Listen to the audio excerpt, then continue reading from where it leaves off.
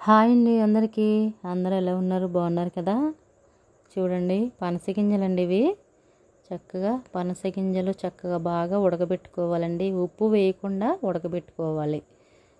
చూడండి చక్కగా ఉడికిపోతున్నాయి అన్నమాట. అవి లాస్ట్లో ఉడికి ఉడికి ఏ కలర్ వస్తాయో చూడండి. బీట్రూట్ వాటర్ ఉన్నట్టు ఉన్నాయి కదండి కలరు.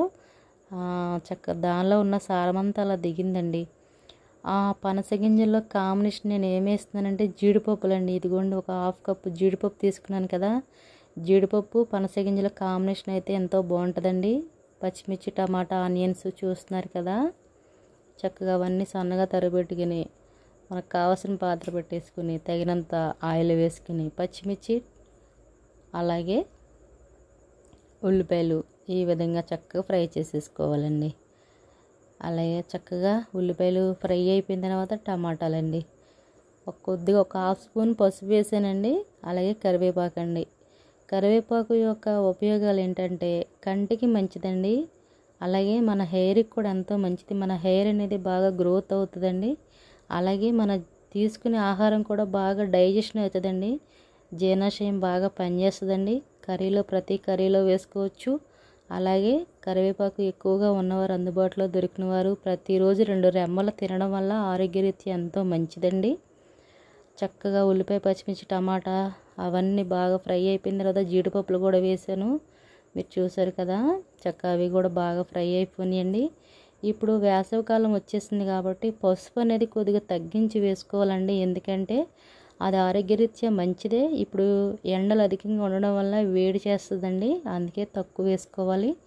అదే వర్షాకాలంలోనైతే ఎక్కువ వేసుకోవచ్చండి. ఎందుకంటే ఇప్పుడు వర్షాకాలంలో వైరల్ ఫీవర్స్ వస్తాయి కాబట్టి అండి చూడండి ఇవి ఈ పనస గింజలు అనేవి చక్కగా ఉడకబెట్టుకుని పైన ఉన్న తొక్క అంతా తీసేసుకుని చిన్న చిన్న ముక్కల కింద కోసుకున్నానండి. ఎందుకంటే చక్కగా వాటికి మనం వేసినటువంటి అల్లం వెల్లుల్లి పేస్టు అలాగే ఉప్పు కారం చక్క బాగా పడతాయండి. బాగుంటుందండి. టేస్ట్ అయితే ఎంతో రుచికరంగా ఉంటుందండి. చూడండి ఒక్క స్పూను అల్లం వెల్లుల్లి పేస్ట్ వేసారండి. ఇక్కడ చక్క పచ్చిమిర్చి టమాటా ఆనియన్స్ జీడిపప్పులు అన్నీ బాగా ఫ్రై అయిపోయిన తర్వాత మనం ఉడకబెట్టుకున్నటువంటి ఈ యొక్క పనస గింజలు వేసేసుకోవాలండి. అవి ఆల్రెడీ ముందుగానే మనం బాయిల్ చేసుకున్నాం కాబట్టి ఎక్కువ టైం పట్టదండి. ఇవి ఆరోగ్యరీత్యా ఎంతో మంచిదండి. పనస గింజలు తినొచ్చు ఉడకబెట్టుకుని తినొచ్చండి. అవి అలాగే కొంతమంది కాల్చుకుని తింటారనమాట అవి కాల్చి. అలాగే కొంతమంది కర్రీస్ వండుతారు. ఈరోజు నేనైతే కర్రీ చేస్తున్నాను. పనసగింజలు జీడిపప్పు కర్రీ కాంబినేషన్ అయితే ఎంతో బాగుందండి. మీకు అందుబాటులో దొరికితే కనుక ఖచ్చితంగా ఒకసారి ట్రై చేసి చూడండి. దీనిలో ఫైబర్ ఉంటుందండి పిండి పదార్థం ఉంటుందండి. ఈ పనస గింజలు అలాగే పనసపండు ఆరోగ్యరీత్యా ఎంతో మంచిదండి. తినాలండి తప్పకుండా. కుదిరితే ట్రై చేయండి. అలాగే నా వీడియో నచ్చితే లైక్ చేయండి సబ్స్క్రైబ్ చేయండి షేర్ చేయండి. చూడండి చక్కగా బాగా కూర అంతా దగ్గర కింద దగ్గరగా ఎగిరిపోయింది కూర అయితే రెడీ అయిపోయిందండి. జీడిపప్పులు చూసారండి అవి బాగా ఉడికి చక్కగా పెద్దగా వచ్చినాయి కదండి. జీడిపప్పు కూడా ఆరోగ్యరీత్యా ఎంతో మంచిదనమాట తినాలి. పిల్లలకి పెద్దలకి అందరికీ ఎంతో మంచిదండి. కర్రీ అయితే రెడీ అయిపోయింది. ఇక లాస్ట్లో నేనైతే కొత్తిమీర వేసేసుకుని స్టవ్ ఆఫ్ చేసేసానండి.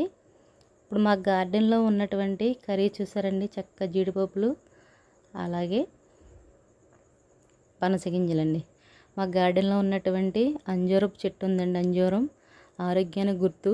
అలాగే సంతానం లేని వారికి సంతానం కలుగుతుందని ఈ పండ్లు తింటారండి. ఆరోగ్యరీత్యా మంచిదండి. ఇది ఫ్రూట్స్ అన్నిటిలో కంటే ఎంతో స్వీట్గా ఉంటుందండి. ఇవి డ్రై చేసుకుని కూడా తినొచ్చు. చక్కగా ఎంతో రుచికరంగా ఉంటాయి మంచి టేస్ట్ ఉంటాయండి. ఇవి పండిపోయినప్పుడు అలా పగులుతాయండి కాయలు అనేవి. గార్డెన్ ఉందన్నమాట. అన్ని రకాల ఫ్రూట్స్ ఉన్నాయి మా గార్డెన్లోని మీకు తప్పకుండా చూపిస్తాను. ఈ అంజూర పళ్ళకైనా ఒక లైక్ అయితే ఇవ్వండి వాటిని చూసైనా లైక్ చేయండి తప్పకుండా మర్చిపోవద్దు ఒక లైక్ చేయండి. తప్పకుండా నా ఛానల్ సబ్స్క్రైబ్ చేయండి. మరిన్ని మంచి వీడియోస్ మీకు చేసి చూపిస్తాను. పిల్లలకు సంబంధించి ఆ యొక్క ఇంటిలోనే ఆ యొక్క హార్లిక్స్ పౌడర్ అనేది ఎలా తయారు చేసుకోవాలో నా నెక్స్ట్ వీడియో అదే పెడతానండి. తప్పకుండా చూడండి సబ్స్క్రైబ్ చేయండి షేర్ చేయండి. థ్యాంక్ యూ అండి.